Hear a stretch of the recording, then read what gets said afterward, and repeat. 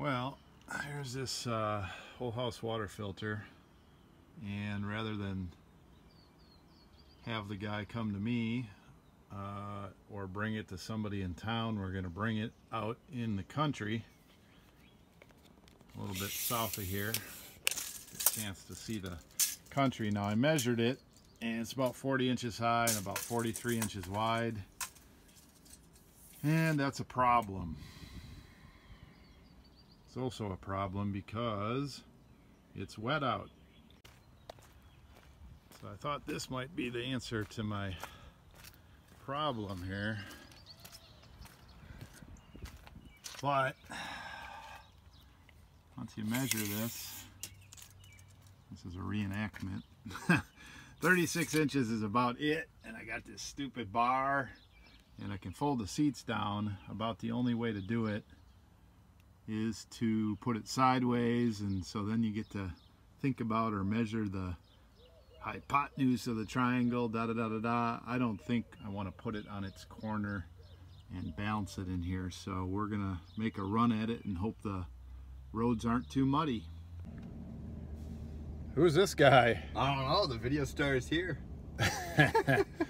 Well, we're in the van, and the good news is that this guy's probably on pavement. There's a lot of roads out here that are dirt and bad, and some that are limestone and okay, but we're gonna see what we find out. Here's Wheeler. Yeah. The adventure continues today. Yeah. The vlog is on. Woo. The vlog is on. today on. The Crazy Picker Life with Wheeler, Dealer, and Banana Peeler. And just like that, we're gonna come out of the city and out into the country. And I think my GPS here is taking me on a route that is not gonna be off-road for the van, but we shall see. So the gentleman that purchased this did not use the internet to find me. He used his kids and they found this uh, item that he wanted. And I talked to him for a while. He's a young 74 year old cowboy. And I don't know if we'll get to meet him here. Probably not because we got to take this thing into his house. But we're going to get the cashola the way to go. What's that swimming pool at the end of that road? Yeah, small town, dirt road still. Yeah. All right, we got to keep searching. Got to get it rolling. See all my little ducks and stuff. What did that we? They're congregating in here, and pooping all over. Yeah, look at that. Wow, he's planted the bunch of he's tomatoes and stuff, and they went over there and they they ate them all. He's a, he's, Yeah. I can't tell if he's happy or if he's upset. Oh, I think he, he's just talking to you. He's just talking to you. He's Telling us what's going on. However, Terrell was over here. I don't know. Okay, what do you got, Wheeler?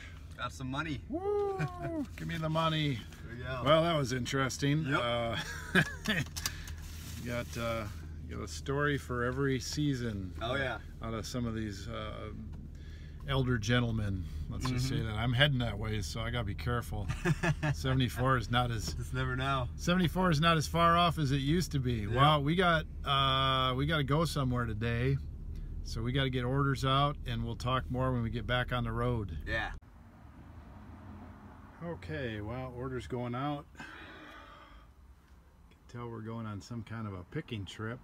Got dividers, got totes, got some luggage up there. All we need is Wheeler. Alrighty, off on an adventure. Yeah. There's Wheeler driving. I finally got my license after how many years of I don't know, you're like 40 years old now, aren't I you? know it, pretty much. Tried to play uh, role role reversal with the cashier when we got some snacks for the trip. I was the teenager and Wheeler was the dad, but she didn't buy it. Ah, Of course, Wheeler now is 20, 20 years old. Woo! yeah, out of the teens, I guess. That's surprising. Yeah.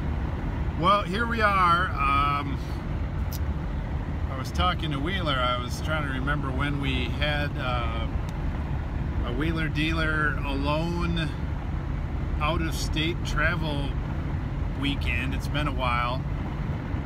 We haven't taken a lot of trips over the winter this year, other than uh, a few trips to the Denver flea market. And of course, the, the move has been constant trips back and forth for like six weeks, and there will still be some more. More on that to come, of course. So, uh, where are we heading right now, Wheeler? Kansas City. Kansas City, Missouri. What are we doing there? Uh, cubing competition. First one ever. First one ever. Wheeler entered and is part of a Rubik's Cube and other puzzle cubing competition. Yep. So that's all day tomorrow, Saturday. Pretty much. And if you don't know, Wheeler is uh, pretty good at the Rubik's Cube and other puzzles. He's uh, internationally known. Yeah. I guess I'd say that. Well, you, you have YouTube with some followers and Instagram with some followers. Yep. What's your handle? KS underscore cuber. KS as in Kansas underscore Cuber. Yep. So we're going to do that tomorrow, little father-son thing. We're going to spend a couple days in Kansas City. And then uh, there are a bunch of totes back there. So lots of good questions, lots of good comments on my first couple videos out of the shoot here. One of the questions, uh, and I think it might have been spurned by a couple of things. One, our video that, that we put out was uh, the Nintendo 64 score. And uh, of course that was a good, uh, good score. Now I have to admit that I filmed that footage a few months ago. And so if there seems to be a, a slight continuity error there, I did film that a few months ago and then just did not release it, did not edit it until recently. And so no trying to fool anybody. But I've sold uh, two thirds, two thirds of that lot, probably 60% or more of that lot, and uh, netted some pretty good money. So, and I'm not in a hurry to sell any of it. I've got stuff priced pretty much at at market or maybe a little bit above. Every time I put them on sale, they they sell a couple. Got a guy today that wants a, a Donkey Kong thing or something. So, anyway, we got a question, and it was, "What was your best score ever?" And Wheeler and I were talking about that. We've had some pretty good, pretty pretty good scores. It's kind of weird being in the passenger seat and actually I don't have to worry about driving. I can just talk, Yeah. look around. Wheeler and I talked about some things. I mean, we've had camera items that are 50 bucks and they turn out to be close to 3,000. We've had uh, camera lenses for 25 bucks that turned out to be over a thousand. I've had loud, a loudspeaker that was 50 bucks and turned out to be 900 Yep. plus shipping to Japan. I mean, we've had lots and lots and lots and lots of wing, wing dingers. Every every month or two, you get a wing dinger. Every six months, you get a home run. And the one with the, the Nintendo stuff, that's that's right up there. That that for sure is top two or three.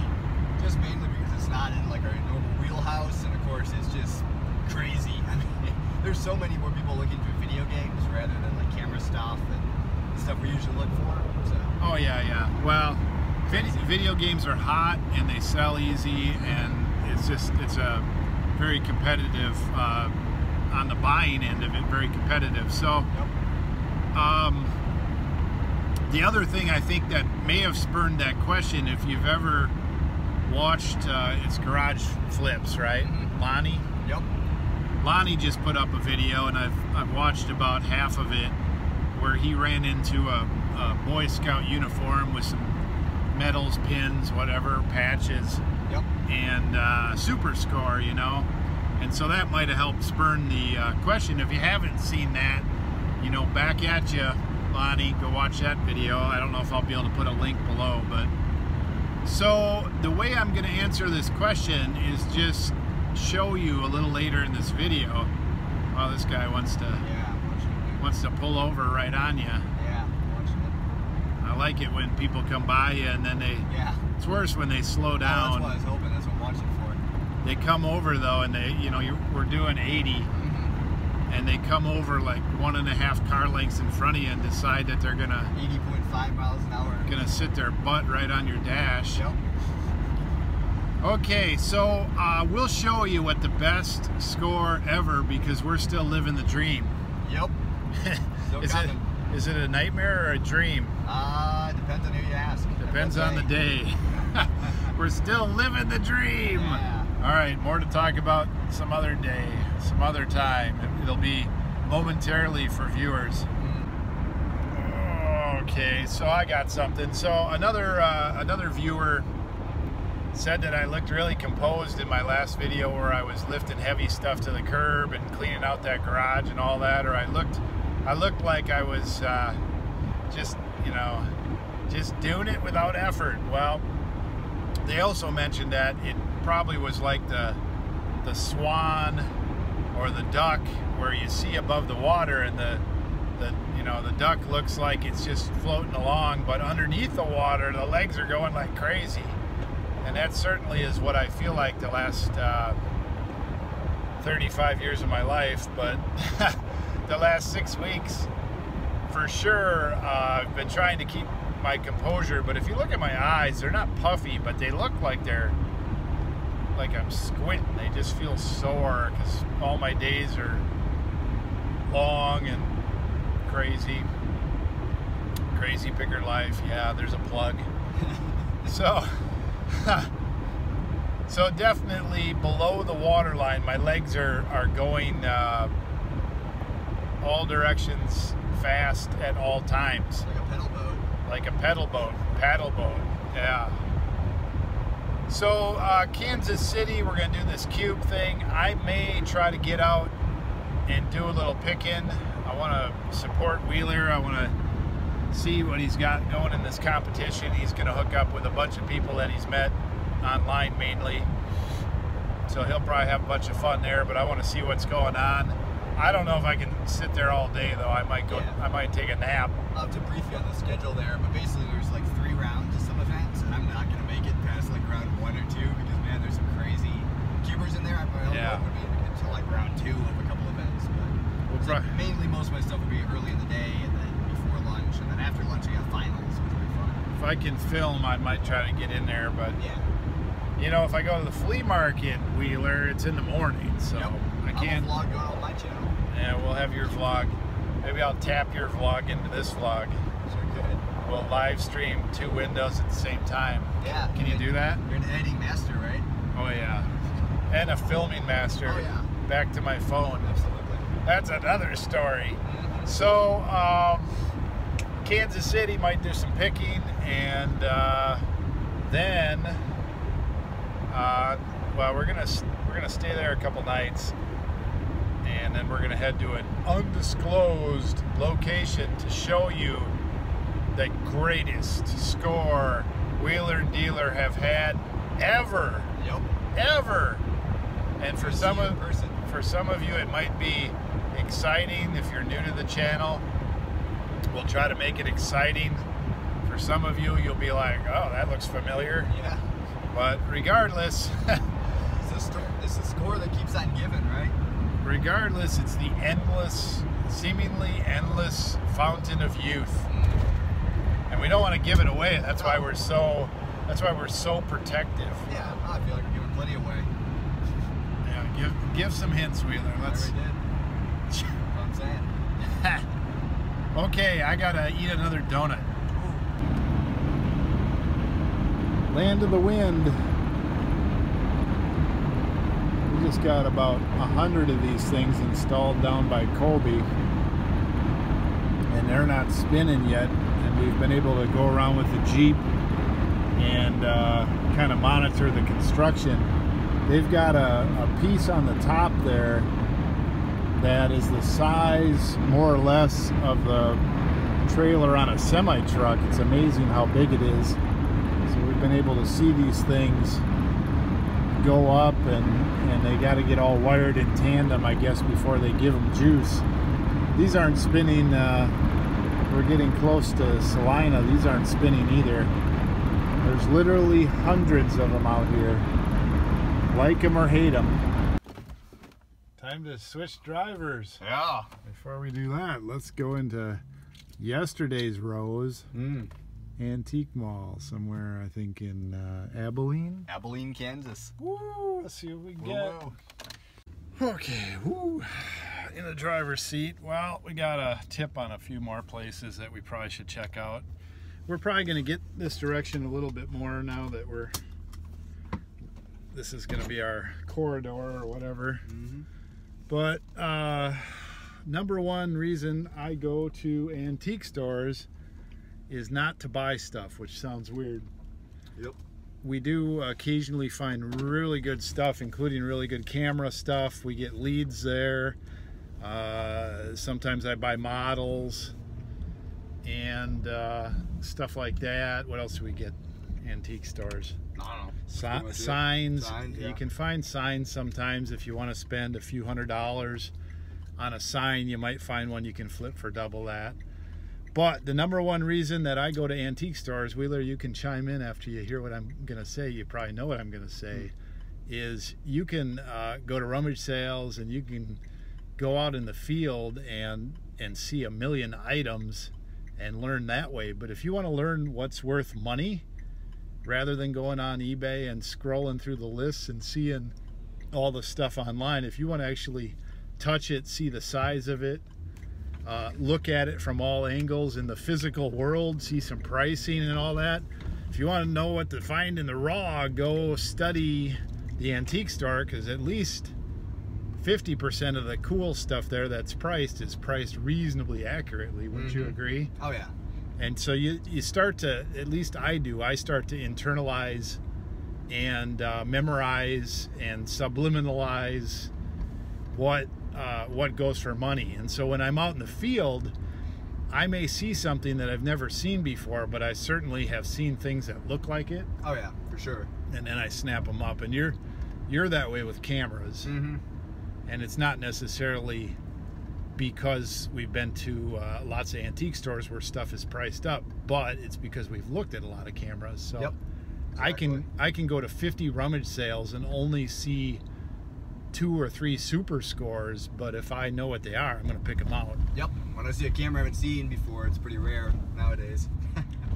So it's sort of uh, it's sort of like a museum that you can buy stuff. A lot of the stuff is overpriced, and you really can't make money on too much. But it's uh, it's like going to school. All right, so we got a antique place right here, Buckeyes, and across Antique Fest. Who knows? So we're gonna try to pull something out of somewhere. Okay, well, Abilene, Kansas, lots of nice stuff here at Mhm. these three or four stores, high-end stuff, high-end signs, cool dealer cars, on and on and on and on. But, you know, it's all priced right for, uh, you know, 20% less in retail or whatever. So yeah. we found uh, some cameras to look at and, uh, you know, saw some things we never saw. Mm-hmm. Saw some things I've bought and sold before. Yep. Got edumacated. Yep. Anything else? We made a good camera lead. Good camera lead. Yep. So Abilene, Kansas has some really interesting history. I mean, it was founded in 1857, so it's one of the oldest towns out here. pretty of course, old. it's the birthplace of Eisenhower. Is that the guy they call Ike? Yeah. I, well, no. Oh, Eisenhower. I thought it said Eisenhower. Ike Eisenhower. We'll have to figure that Yeah, out. had to figure that out. But either way, birthplace birthplace of one of the famous presidents. One of these famous Prezi Apparently. dudes. Mm-hmm. Apparently. We love all of them, right? Mm-hmm. Okay, uh, we got to get on our way. We just uh, we blew. I blew my free Bud Light or whatever the celebration for staying in our hotel beer is. Free beer, free, Yeah. free whatever. So that always sucks. I don't think we're gonna make it. Nice we had found something, I guess. Nah, you know we haven't got out a lot, so Nope. pretty fun. Surprised how many antique stores are down here, smaller town. It is one of those downtown antique things, and so you, you do get some really good stuff, but you got to be prepared to to pay up. But we did get a camera lead, some guy with 300 cameras of various sorts, Mhm. and we'll hopefully get a list from him. For the most part, seems higher end too, which is what we're looking for. Always what we're looking for. So it all comes back. Plus, we made some contacts with the store owners here. Mm-hmm. and that's always important if you're gonna come back and after they see you two three times they remember that you're looking for cameras and or whatever Yep. And what they'll do is they'll say hey you know i talked to that one guy i told you about da da da da da i mean we don't even know what the heck they're talking about anymore they remember us Exactly. Yep. and then they throw us stuff so there you go secret is out Mm-hmm. on the road we gotta get there Oh, you ate it all. Yeah.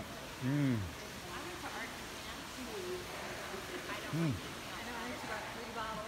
Time for some bucks. NBA. Tomorrow we'll be here soon. found us. What? Are you following us around? Yeah, Why are these things following us?